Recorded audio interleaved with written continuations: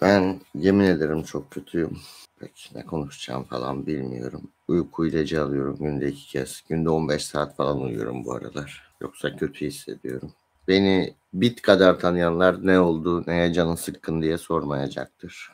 Bir şey olması gerekmiyor. Mal bu. Çok incitici bir soru geldi. Çalışabildin mi bugün diye. Kötü olmamın sebeplerinden birisi de o. Yani çok kötü olduğum için çalışamadım. Çalışamadığım için daha da kötü oldum. Vicdan azabı, suçluluk. Hiçbir sik yapmamış olmak. Şöyle bir şey var arkadaşlar. Ee, ben bu yayınları açmadan önce de uzun süredir, iki senedir tezimle uğraşıyordum ki bildiğim konularda ama yani sadece bir bilgi sahibi olduğum konularda derinine girmemiştim. İki sene boyunca yaklaşık literatürün amına koydum meta etikte.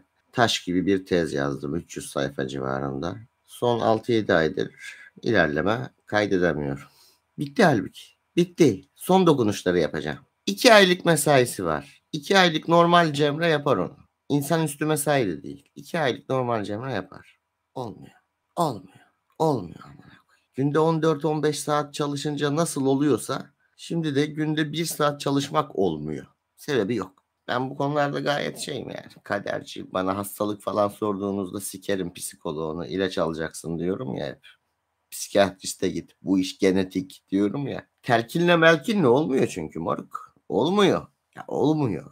Yani araba benzin istiyor, somut madde istiyor. Bu amına kodumunun bu beyni bir şey istiyor somut. Buraya laf işe yaramıyor işte. Tabii kendi durumumdan yola çıkarak genelleme mi yapıyorum bazen diye düşünüyorum. Kuşkusuz yapıyorumdur ama bu isabet oranı yüksek bir genelleme yani. Terapi merapi yani.